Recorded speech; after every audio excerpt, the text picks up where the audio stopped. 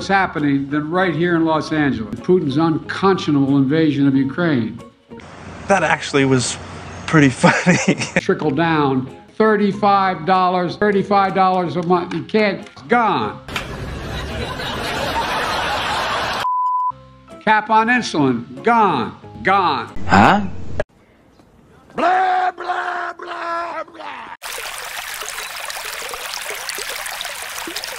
I suggest that they pay 15% less than you pay. 15%. 13 in the world. United States of America.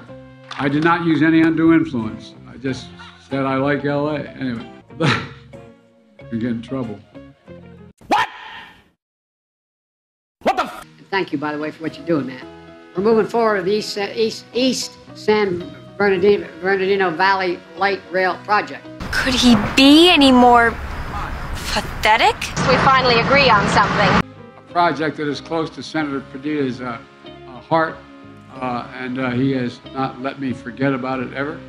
Um, and I haven't, haven't, haven't. Come on, man!